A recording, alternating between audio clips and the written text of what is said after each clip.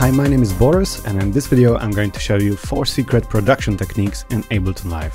These techniques aren't often talked about, but they can really make an impact on your tracks. Before we get into the video, if you like what we are doing on this channel, make sure to subscribe. We've got more Ableton content coming up, and if you'd like to learn Live 12 with all the foundations of music production, check out the Beginner to Advanced Live 12 Start to Finish course, and make sure to also check out the Everything Bundle Collector's Edition, which includes all of the courses, sound packs, and project files in our store. Alright, so let's get started. And first of all, we've just got an ambient swell pad. Let's just give this a quick listen.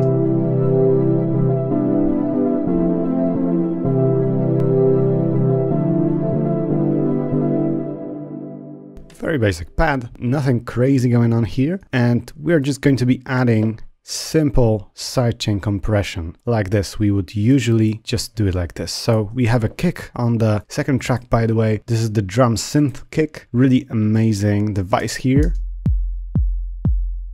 it's got a quite a long tail. Let's try sidechaining to this.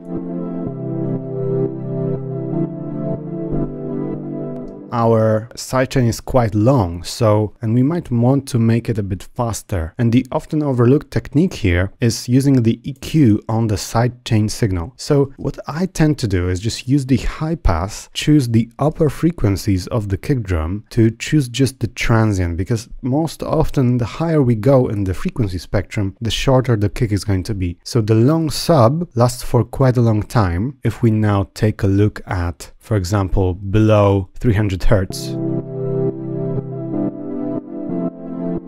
You can see the sidechain signal, it's quite long. I just froze the track on the drum synth and let's just go up with the frequency of the high pass.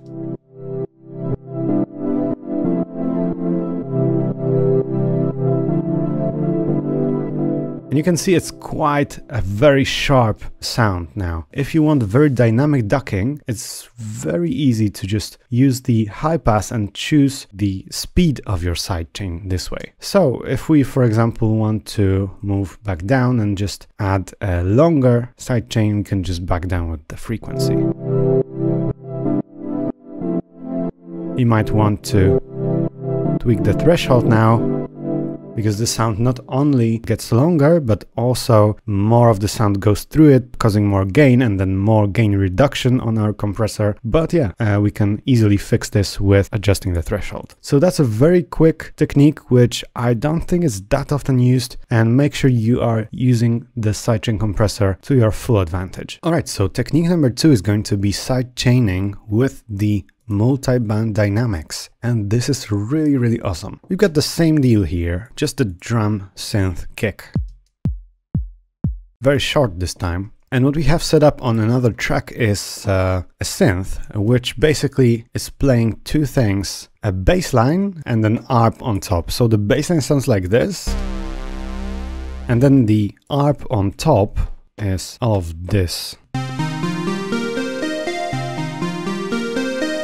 Let's say we want to just duck the bass and leave the high frequencies, so the ARP, unchanged. We can easily do this now with the multi-band dynamics, but we just need to separate the frequencies uh, in the right way. So all we want to duck are the low frequencies, and here I've chosen below 300 Hertz.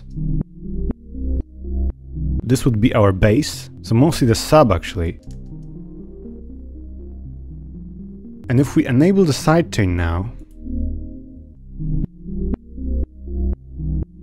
you can just choose the kick and you can hear the ducking. We can even preview this sidechain. The only downside of this is that we don't get additional EQ on the sidechain itself. But this gives you a lot of possibilities because now if we hear the entire signal, the highs and mids are unchanged. And you can even see it visually. The bass is pumping, but the highs just stay unchanged. And that's amazing. And uh, yeah, usually we would require three compressors on three different channels. Here it's very, very easy to just do this with multi-band dynamics. Let's take a look at the third technique for today. And what we have is the drum rack. And uh, it's a very, very simple MIDI pattern right here. So let's just give it a quick listen.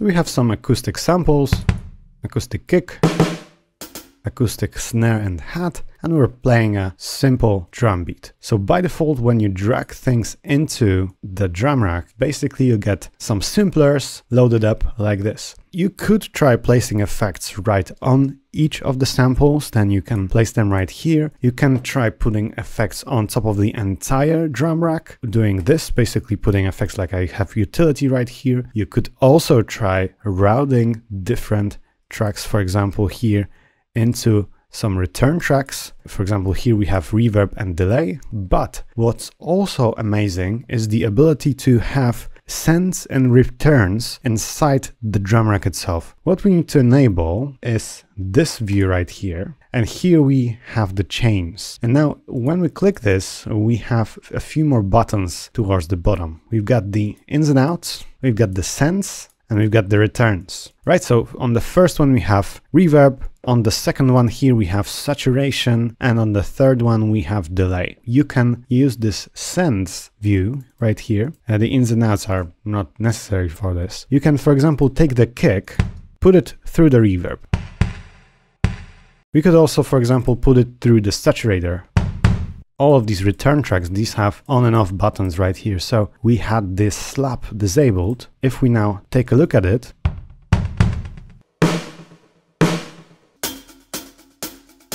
Okay, so let's listen to all of this. And now if we disable this, I think it's going to be a difference.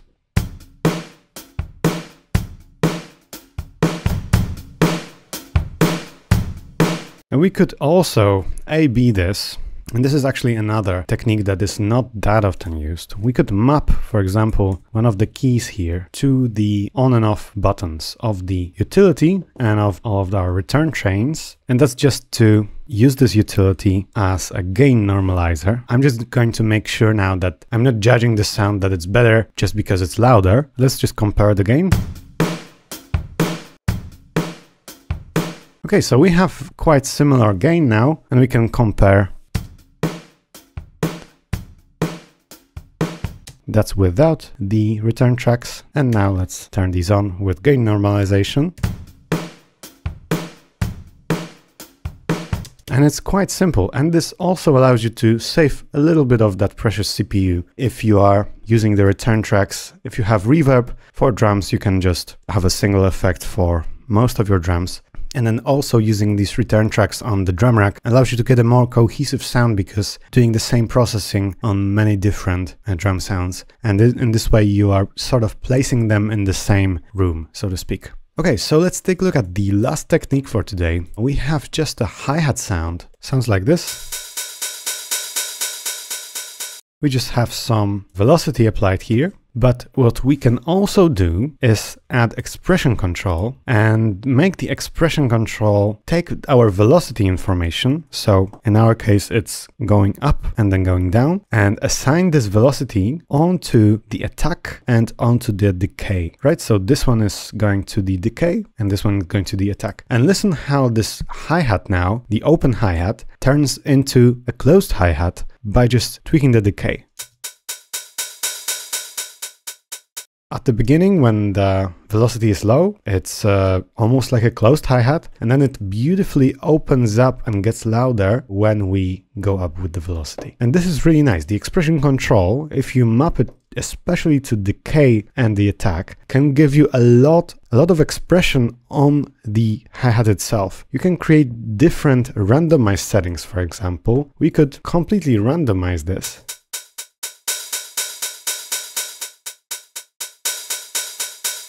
In this way, we get much more of a natural feel because usually the hi-hat has a little bit of that variation in the length of the sound. And with the expression control, it's really easy to do. All that's needed is really just taking the target here, assigning it to the decay, and then just tweaking the XY pad. Like this, it goes from zero to the maximum with this curve, and you can also bend this curve. So just by mapping it onto the right parameter, tweaking the parameter itself, and just messing around with this XY pad right here, this can give you a lot of expression just with a single sample. So if you want to make your drum sounds more realistic and you are already using a bit of velocity, which is most MIDI patterns, you can also use this velocity for some more additional embellishments like automation of attack and decay. You might also use it on the filter, so maybe opening up the filter when the velocity goes higher. You might also need to mess around with amount of velocity here, velocity and volume. Uh, the higher we go here, the more the velocity is going to increase the volume as we basically have a higher velocity. That would be the last technique for today. The expression control is one of my favorite devices and make sure to use it, especially if you are creating realistic sounding drums.